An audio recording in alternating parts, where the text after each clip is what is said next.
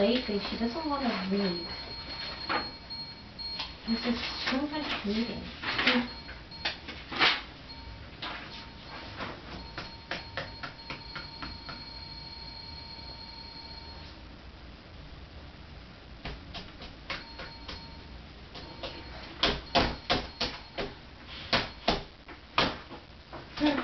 You're intense, my friend.